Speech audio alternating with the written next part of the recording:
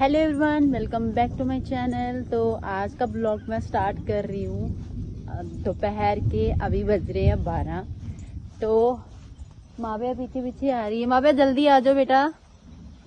वो देखिए मावे को आज मैंने ना शूज़ पहना दिए, क्योंकि इसको मैं जब भी सैंडल पहनाती हूँ तो ये सैंडल खोल देती है। जब भी यहाँ खेत पे आती है तो खेत में ना बहुत ही ज़्यादा जो है रिस्क होता है। इसलिए हमें जो है शूज़ पहनने पड़ते हैं। मावे नो बेटा, आगे नहीं जाना। ठीक है? तो मोटर लगाना भूल गई मैं। पापा जी को बोलते हैं।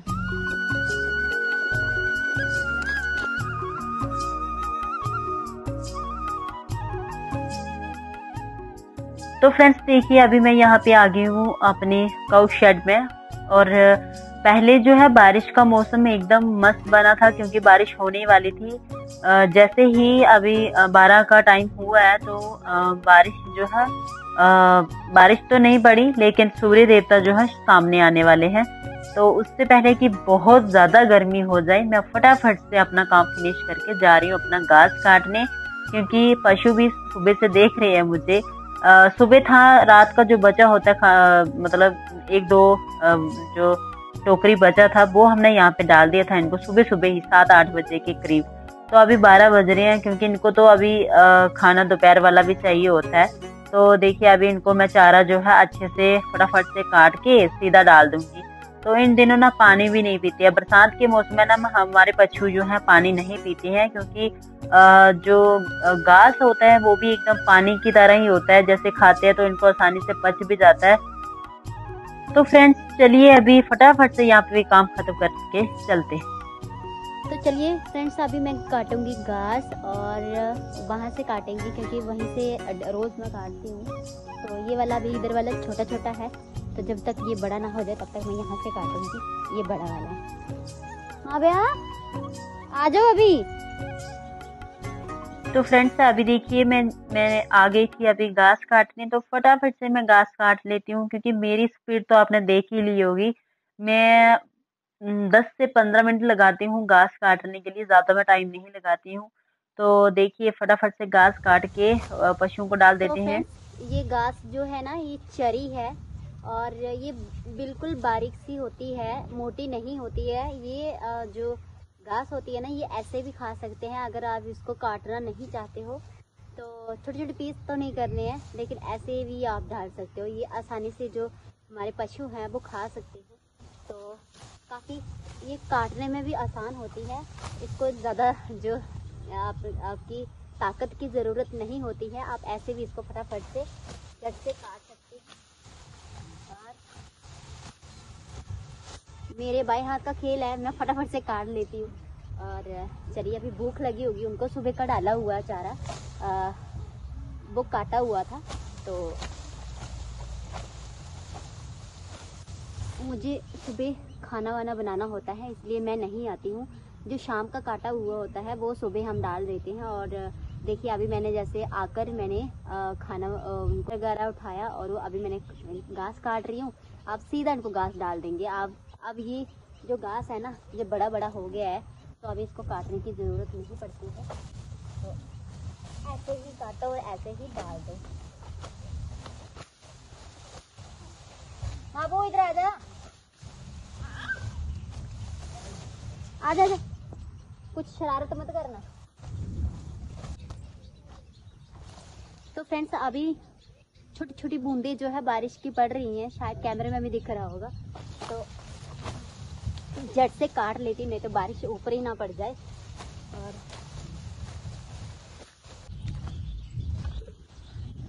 और माबिया देखिए क्या कर रही है? माबी क्या कर रहे हो? हाँ? क्या कर रहे हो? ये भी ये भी घास काट रही है। माबे घास काट रही है? हाँ? घास काट रहे हो? यस और नो? घास काट रहे हो? छी छी छी। ना नहीं खाया आपने? खाना नहीं खाया? फ़र्स्ट टाइम घास के साथ खेल रही है तो चलिए किसको खेलने देते हैं? हम काट लेते हैं अभी थोड़ा सा और घास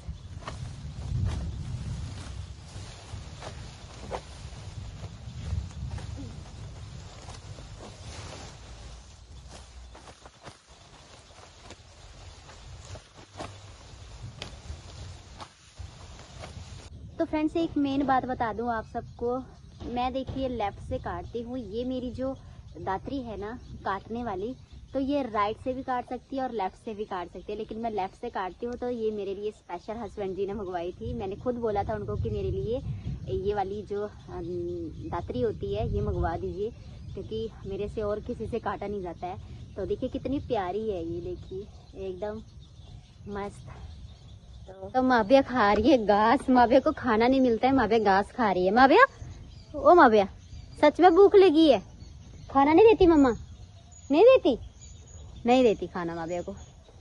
तो ये रहा मैंने अपना घास काट दिया है और अभी चलते हैं गाय को डालने के लिए, क्योंकि बारिश की बूंदे जो है टपकना स्टार्ट हो गई है।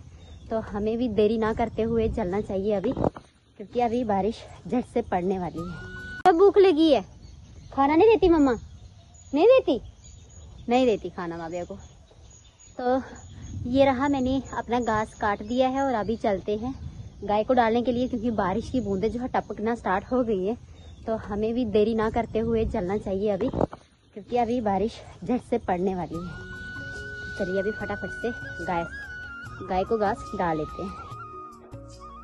तो चलिए फ्रेंड्स, अभी देखिए मैंने घास पूरा काट लिया और फटाफट से अभी डाल देते हैं अपनी गाय को। तो देखिए अभी फटाफट से ये खा, खाना भी शुरू कर दिया है इन्होंने। ऊपर तक भर के मैंने घास डाल दिया है।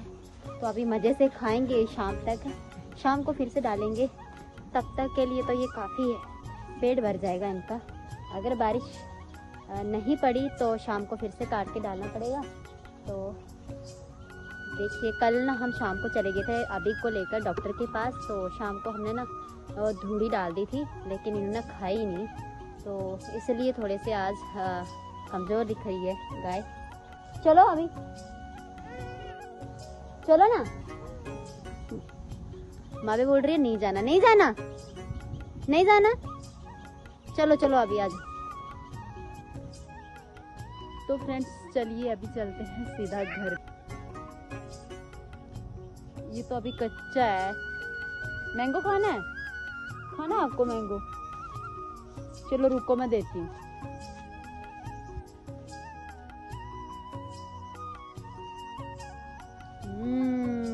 रहा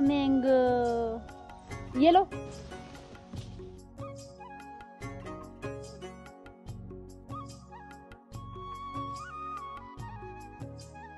तो फ्रेंड्स आते आते हमें मिल गए थे मैंगो और देखिए मैंने फटाफट से मैंगो को थोड़ा सा हिलाया मैंगो के पौधे को और ढेर सारे मैंगो जो है नीचे गिर गए और एकदम पके हुए मैंगो है ये। देखिए एक काम करने आए थे दो दो काम हो गए। मैंगो भी ले आई मैं। तो चलिए अभी चलते हैं सीधा घर पे। और घर पे क्या काम करना है? अभी दोपहर का खाना बनाना है। तो चलिए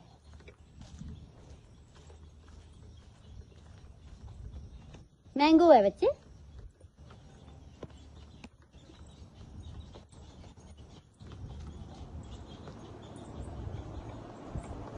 और यहाँ पे देखिए सिर्फ़ मैंगो ही मैंगो मिलेंगे।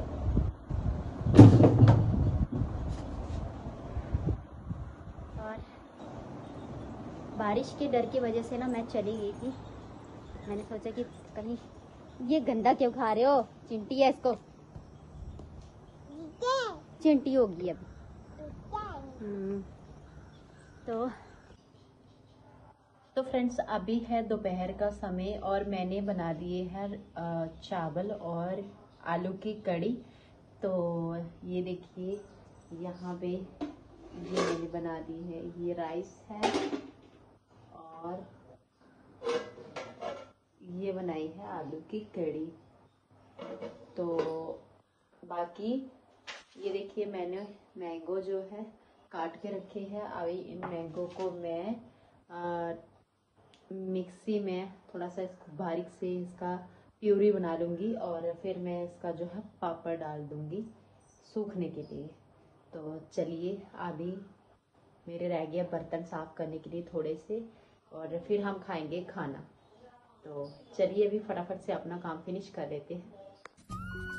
तो फ्रेंड्स देखिए, पहले जो है, धूप निकल रही थी थोड़ी थोड़ी धूप भी निकल रही थी। अभी कम से कम दो का टाइम हो रहा है। दोपहर के हमारा खाना वाना हो गया है। और देखिए अभी जो इस तरफ़ का जो मौसम है ना वो व्यू पूरा दिखा देती हूँ मैं आपको। कितना ज़्यादा बारिश मतलब आने वाली है।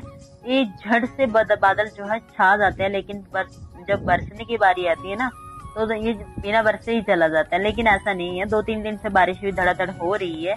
तो ये रहे मेरे आम पापड़ जो मैंने डाले थे सूख गए ये अभी धूप निकली थी इसलिए मैंने सूखने के लिए छोड़े हैं। तो चलिए देखिए देखिए, मेरे पापड़ जो है एकदम सूख गए हैं और पापड़ों को छोड़ देंगे अंदर। और आज का ब्लॉग कैसा लगा फ्रेंड्स, कमेंट में ज़रूर बताइएगा, क्योंकि मैं आज का ब्लॉग यहीं पे अपना स्टॉप करना चाहती हूँ, क्योंकि अभी मुझे और भी ढेर सारा काम करना है और आप सबके लिए मुझे नए नए ब्लॉग लाने हैं। और आप सबको अगर मेरा ब्लॉग पसंद आता तो आप प्लीज़ एक बार कमेंट में ज़रूर बता दीजिएगा कि आपको किस तरह का ब्लॉग चाहिए। तो मैं लेके ज़रूर आऊँगी। अगर आपको खाने से रिलेटेड ब्लॉग चाहिए होगा कि मैं कोई रेसिपी बना के भी बताऊँ तो वो भी ब्लॉग पक्का लेके आऊँगी। लेकिन देखिए अभी मेरा जो आ, जो समोसा मैंने डाला था हमारे यहाँ पे पापड़ भी बोलते हैं और समोसा भी बोलते हैं। तो ये पापड़ है आम का तो मैं इसको छुड़ा रही थी अभी, जो प्लेट में से, लेकिन एक तो छूट छूट रहा था, लेकिन अभी कच्चा है, अभी थोड़ा पका नहीं है अच्छे से। तो चलिए फ्रेंड्स अभी बारिश आए, उससे पहले हम पापड़ों को रख देते हैं अंदर। तो चलिए। तो फ्रेंड्स अभी काफ़ी ज़्यादा बारिश आ रही है, और देखिए पीछे इतना मौसम ख़राब हो गया है, और मेरे जो पापड़ है ना, ये अभी सूख ही गए हैं और अभी इनको मैं निकाल लूँगी बाद में बाहर। और चलिए, अभी मेरा सारा काम ख़त्म हो गया है और आज का ब्लॉग मैं फ्रेंड्स यहीं पे एंड करती हूँ। आई होप आज का ब्लॉग अच्छा लगा है। अगर अच्छा लगा है तो लाइक सब्सक्राइब शेयर और ये इस मौसम के बाद की जो वीडियो आपको चाहिए होगी, वो मैं बाद उसका ब्लॉग आपको आएगा कल। तो तब तक के लिए खुश रहिए, हँसते रहिए। तब तक के लिए बाय